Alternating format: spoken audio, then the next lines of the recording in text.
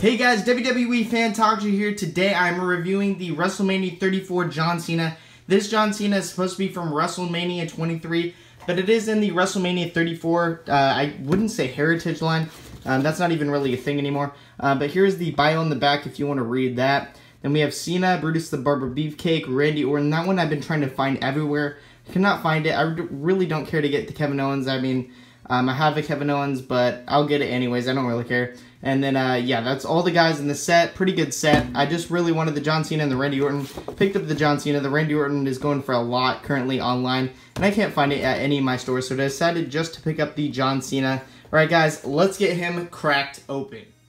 Alright, so here is the John Cena out of the packaging. And I gotta say, this is definitely one of the best John Cena Elites that we have ever received. Uh, this is definitely one of my favorite attires. This is, I believe, the night where he fought Shawn Michaels for the WWE Championship. Uh, right there on the wristbands, we have some nice green, like camo. We have some nice green right there. Let's get it focused. There we go. So now you can see like the designs. I don't really know what that is on there. Some sort of design on there that he wore that night. Um, I do believe that they were darker that night than what it is showing up on camera. I'm not really sure. Um, but I, I'm glad we got this John Cena figure uh, first because I'm kind of getting sick of the newer John Cena sculpts, like the pants, and I'm kind of getting sick of like the, the upper torso, especially the arms. I don't know, it's just kind of getting annoying because every Cena figure seems to be the same to me. And it's nice to do a little like retro type thing, go back and use the old body sculpt and old pants, old shoes, that kind of stuff. It's nice to get that again. Um, but then we got some nice green pants as well as, I think these are like, like his boxers showing up. It says respect right there. I think it's hustle, loyalty, respect, and it keeps going on this on the uh, other side. Pretty cool. And then just basic black belt, and then the knee pads right there, as well as these basic black shoes. And I do believe they're white that night with some black on them. i could be completely wrong. Uh, but yeah, very cool. He comes with a good amount of accessories. Comes with this hat right here. Very nice. Kind of like a lighter green than it really was. But that's okay. Very cool hat. And it also comes with this t-shirt, and we're going to slap it on in three, two, one. So here is the John Cena with the shirt on, and I gotta say, it's kind of a tight fit, which is good and bad, I guess you could say. Um, what I mean by tight is it was just kind of hard putting it on on the back. This Velcro is kind of hard putting it on. Uh, maybe it's just a little too small, I'm not sure. Um, but there's the design on the shirt right there, very awesome. I think it says, live fast and fight hard, something like that. Uh, an older t-shirt, but it's really cool that we're getting this because uh, I don't I don't believe we ever got a Cena with this attire. Maybe in a basic series, I'm not very sure. Uh, but again, we do get the dog chains right here, as well as the hat. It looks pretty good on him.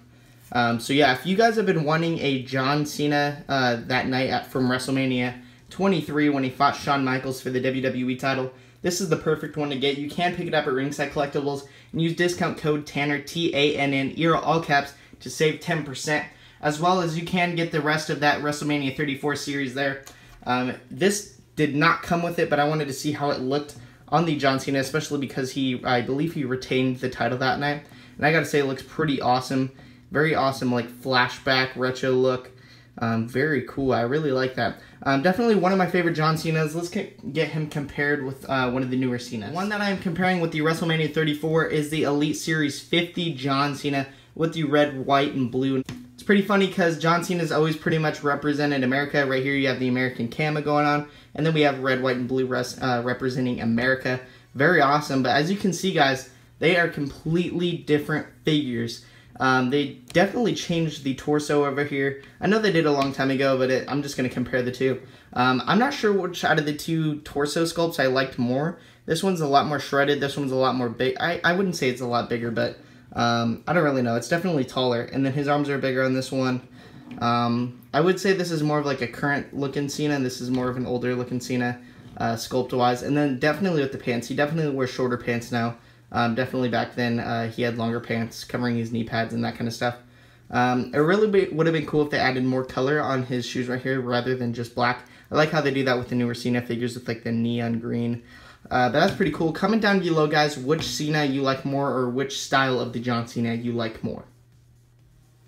That's it for this video review, guys. I highly recommend you go to Ringside Collectibles and pick this John Cena figure up. It is super awesome, and I, I really like it a lot. Definitely one of my favorite John Cenas of all time. Another thing I forgot to point out is they forgot to uh, um, I forgot to point out that they forgot to paint the armband right there. I don't really know. I think he had an armband that night. I could be wrong, but I believe he did have one. So correct me if I'm wrong. But yeah, that's got that's it for this video review, guys. I highly recommend you go pick this up. Again, use that discount code Tanner T A N N E R all caps to save 10% at Ringside Collectibles. And I'll catch you guys in the next video.